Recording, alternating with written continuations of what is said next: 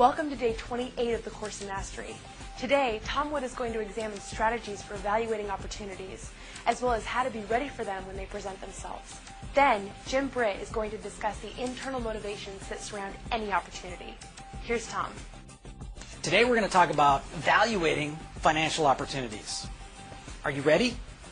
Seriously, are you ready? If the right opportunity fell in your lap today, are you ready to take advantage of it? If you truly want to create wealth, you have to be ready if the financial opportunity comes. I'm going to teach you two things today. One, how to get ready, and two, how to evaluate an opportunity when it comes. Here's my simple checklist for being ready to evaluate any opportunity that comes your way. Number one, what do you want? There are so many ways to make money, it boggles the mind. Ice cream sales, ice sales, I care. Blue chip stocks, blue chips, the blues. French horns, car horns, shoe horns, popsicles, Pop Tarts, Pop Goes the Weasel, that popper in Pop Goes the Weasel that makes the Pop Goes the Weasel thing go pop. Stop thinking that you have to find something that makes money. You can make money in anything. What you need to find is what you love to do. Number two, you have to ask yourself the question, how much time do I have? You can start part-time or full-time, but be honest about that time that you have. Remember, there are other things that happen in your life. And starting a business does take time. It's not something you can do sometime. You can do it part-time or full-time, but never sometime. Number three, ask yourself, how much money do I have? You can start a business for a million dollars, or you can start a business for as little as $500. Remember that how much money you have does not necessarily equate to how much money you will make. But don't try starting a $50,000 business if all you've got is $5,000. Be honest with yourself. How much money do I have? Okay, now you're ready. You know what you like, you know how much time you have, and you know how much money you have. When the opportunity comes, you'll know who you are and whether that opportunity is right for you.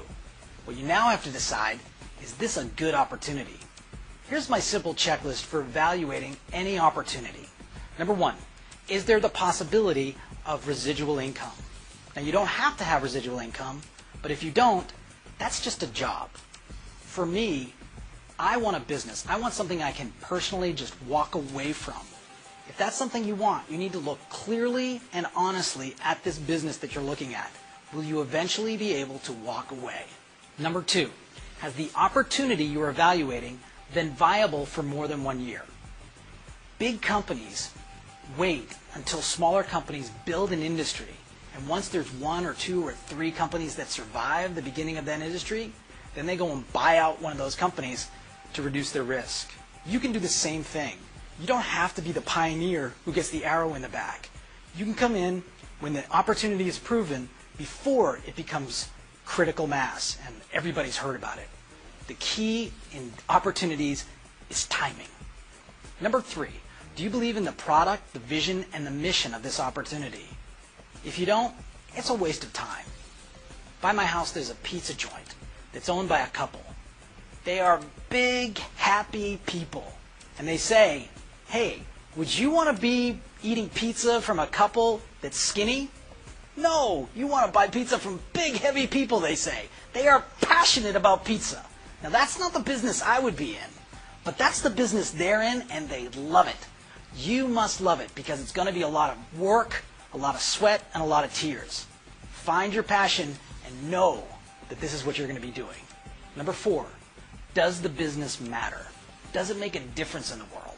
Now, this may seem a little odd, but no business survives if it doesn't make a difference. And you have to decide, does this make a difference that I can be a part of?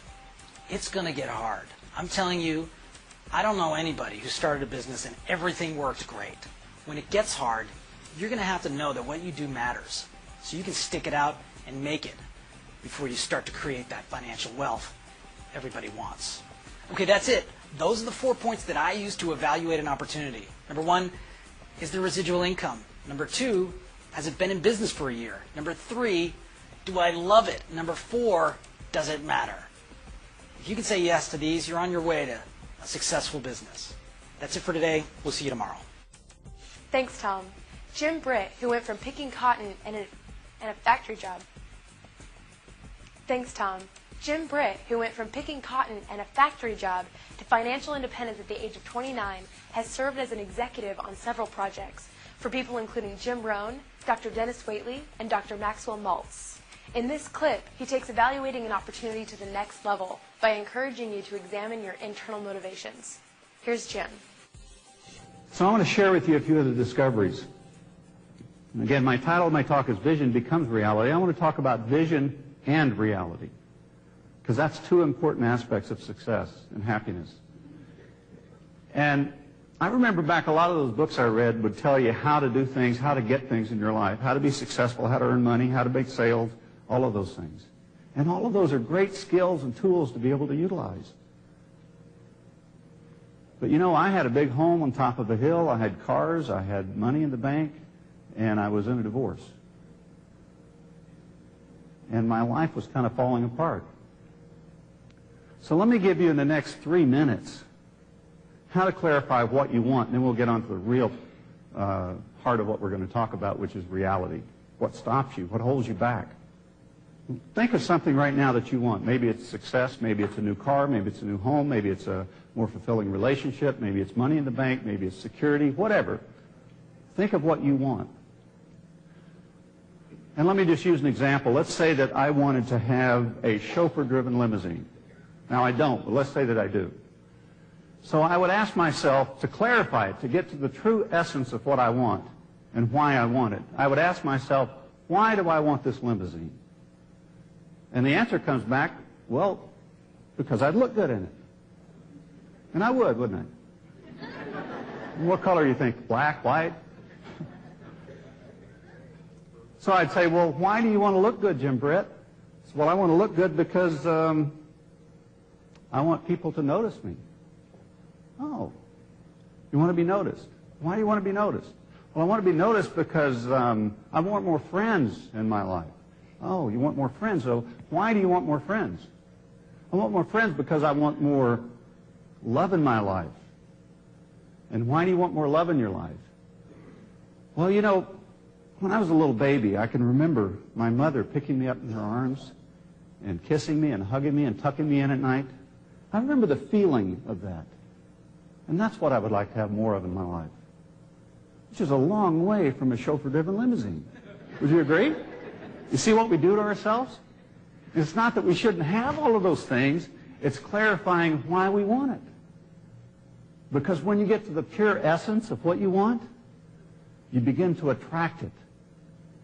Because it's pure of the heart. You know exactly what it is and why. Not just what, but why.